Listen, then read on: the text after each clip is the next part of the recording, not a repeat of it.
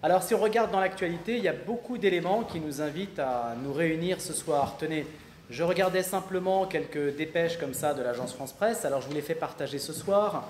Greta Thunberg, par exemple, a recommandé de rouvrir des centrales nucléaires, de continuer à les utiliser en Allemagne, ce que le nouveau chancelier Olaf Scholz a fait. C'est une annonce qui date d'hier, de prolonger le fonctionnement des trois dernières centrales nucléaires allemandes, ce qui a été perçu comme un camouflet par les Verts au sein du gouvernement de, coalition. Si on regarde d'autres dépêches d'actualité, on s'aperçoit que la planète a perdu en moyenne près de 70% de ses populations d'animaux sauvages en une cinquantaine d'années, selon l'évaluation faite par le WWF, le Fonds mondial pour la nature, et ce, en raison, semble-t-il, du réchauffement climatique, le lien de plus en plus marqué, je lis, entre perte de biodiversité et réchauffement climatique. Ça encore, c'est récent, ça date du 12 octobre. Je continue cette petite énumération. Vous avez appris que l'Arabie saoudite, l'Arabie saoudite a été désignée comme euh, pays accueillant, pays hôte pour les JO d'hiver, les JO asiatiques. Donc ça va se dérouler dans un pays où il ne pleut pas, ce qui est perçu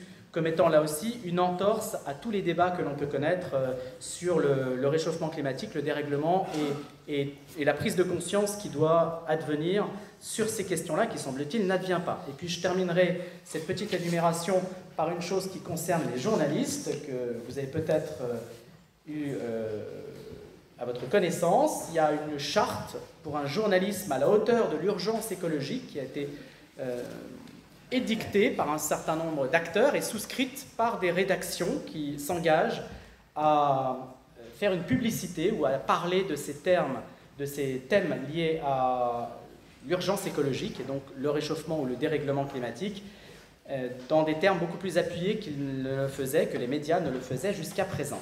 Donc tout cela, vous voyez, en moins de dix jours, ce sont quelques infos que nous avons réunies qui nous permettent de dire que c'est vraiment un sujet d'actualité. Alors comment la soirée va-t-elle s'organiser? D'abord, je vais présenter succinctement nos deux débatteurs.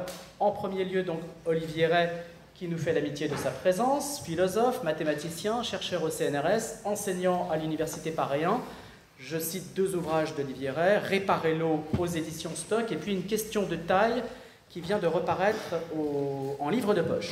Et puis Stanislas de Larmina, qui a également accepté cette invitation. On la remercie aussi parce que ce n'est pas si simple aujourd'hui d'organiser des débats. Stanislas Delarmina, ingénieur agronome, spécialiste de la législation agricole, législation européenne en particulier, et qui a publié un ouvrage avec Fabien Revol intitulé L'écologie, nouveau jardin de l'Église. Donc merci vraiment à tous les deux d'avoir accepté cette invitation. La première question qui vous est posée, à laquelle vous allez chacun répondre sur un temps assez court, on se donne cinq minutes sur cette première question à deux.